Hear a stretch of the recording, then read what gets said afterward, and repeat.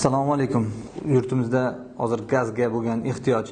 Avtomobillarda e, gazlarga metan va propan gaziga qayta jihozlash bo'yicha bo'layotgan ishlardan kelib chiqqan holda o'zimni to'g'ridan to'g'ri tadbirkorlik vazifam bo'lganligi uchun hurmatli vatandoshlar avtomobilni gaz qo'yilganidan keyin muammolarimiz albatta yechilib qolmaydi. Albatta ba'zi bir yaxshi bilmagan ustalar qo'yib berganda ba'zi bir muammolar kelib chiqadi lekin bu kichik muammolar bartaraf etilganidan so'ng avtomobillarni har yili iloji boricha har olti oyda yoki har chorakda qayta sinovdan ko'rikdan o'tkazib turishimiz shart.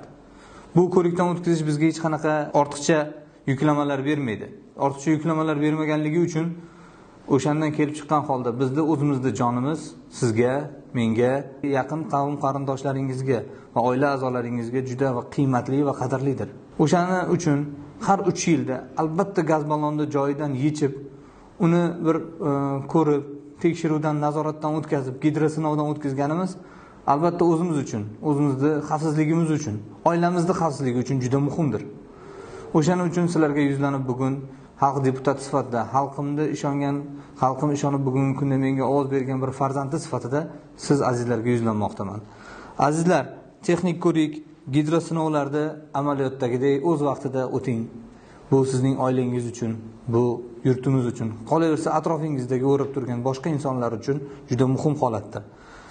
Avtomobillar metan eslatib o'taman.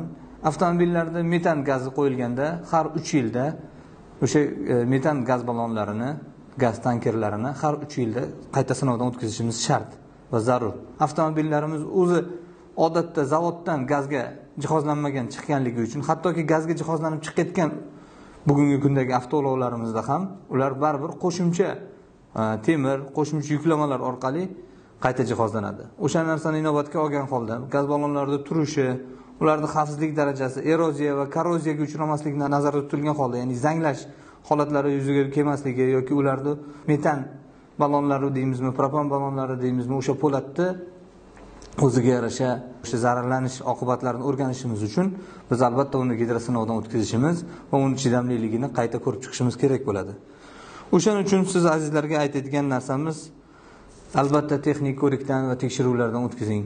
Moshinalaringizni tekshiruvlardan o'tkazish orqali o'zingizni asrang. Salomat bo'ling.